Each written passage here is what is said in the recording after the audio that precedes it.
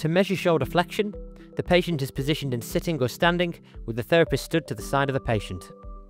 The axis of the goniometer is placed over the lateral aspect of the humeral head, with the stationary arm parallel to the midline of the trunk and the movable arm parallel to the humerus, pointing to the lateral epicondyle. Ask the patient to raise their arm forwards, keeping their arm straight.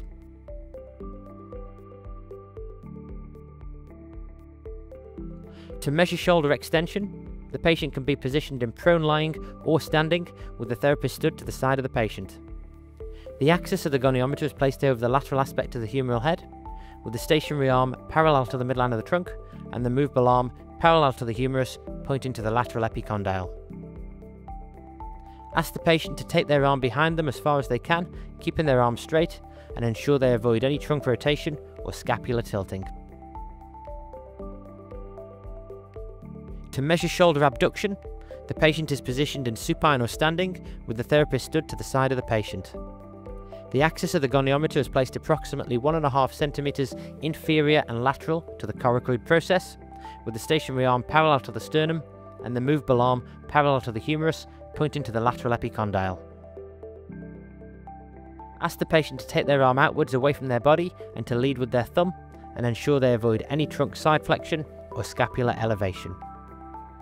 To measure shoulder external rotation, the patient is positioned in supine lying with the shoulder abducted and the elbow flexed to 90 degrees with the forearm pronated.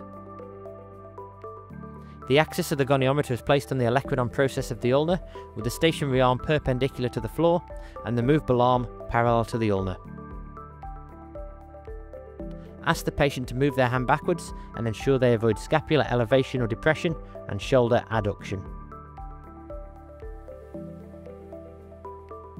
To measure shoulder internal rotation, the patient is positioned in supine lying with the shoulder abducted and the elbow flexed to 90 degrees with the forearm pronated.